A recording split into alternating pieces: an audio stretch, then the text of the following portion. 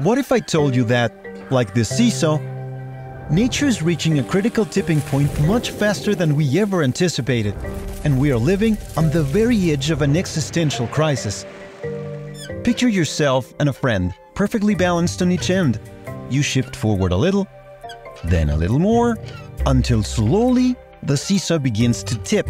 Momentum takes over, and your friend plummets to the ground. Nature, too, is hanging in the balance. Every day, delicate ecosystems are being pushed to their tipping point by our continued and unprecedented destruction of nature. Our planet's fragile seesaw is creaking and wobbling, and if we continue on this path of destruction, the impacts will be catastrophic and irreversible. This won't just be an environmental issue, it will affect everyone, everywhere. And vulnerable communities who have contributed the least to this crisis will suffer the most. So, what's pushing us towards these tipping points? What's at stake? And how can we turn things around before it's too late?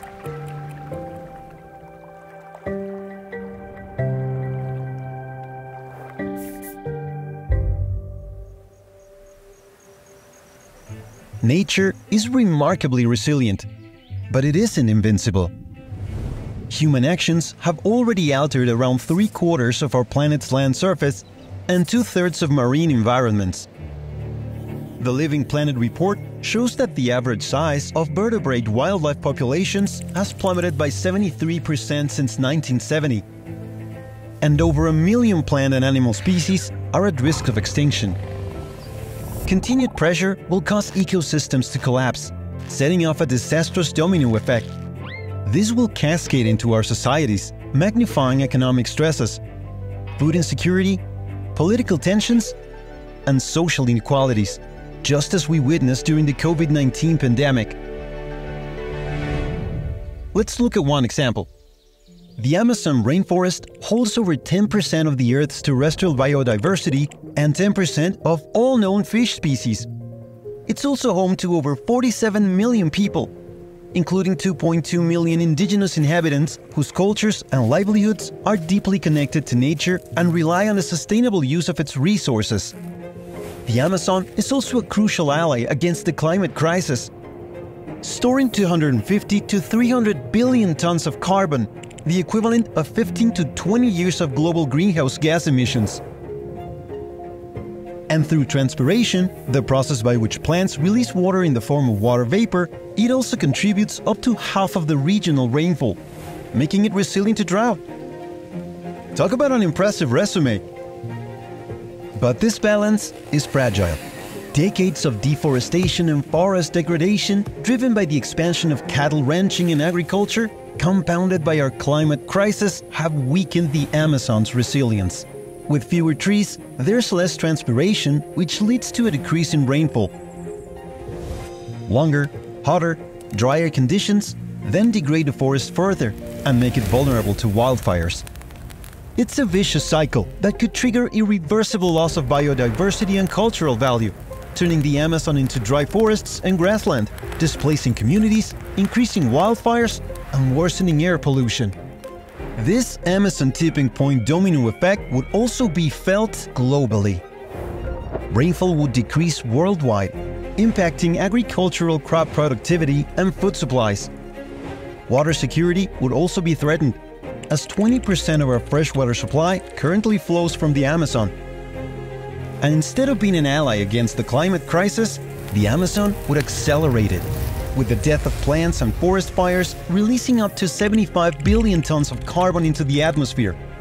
With this, average annual global temperatures could increase up to 0.2 degrees Celsius, triggering yet another chain reaction of heat waves, droughts, hurricanes, further sea level rise, declines in agricultural productivity, and species loss on land and in water. Not to mention the widespread increase of heat related illnesses and dangerous vector-borne diseases like malaria and dengue. This is just a glimpse of what could happen if we cross one tipping point. So, how close are we to setting off these catastrophic consequences? Studies suggest that the destruction of 20 to 25% of the Amazon rainforest could tip the scales. we've already deforested as much as 17%. The Amazon is just one example. Five other global tipping points are approaching quickly, and each has the potential to trigger another, threatening all species, Earth's life support systems, and society as we know it. What are these tipping points? Melting ice sheets in Greenland and the West Antarctic have the potential to disrupt ocean circulation and cause sea levels to rise several meters. Coral reef die-off could decimate fisheries and impact hundreds of millions of people who depend on reefs for food, livelihoods, and storm protection. An ocean circulation tipping point in the Atlantic would devastate marine ecosystems, impact other major ocean currents, and change global weather patterns, including more severe winters and intense summer heatwaves for the Northern Hemisphere.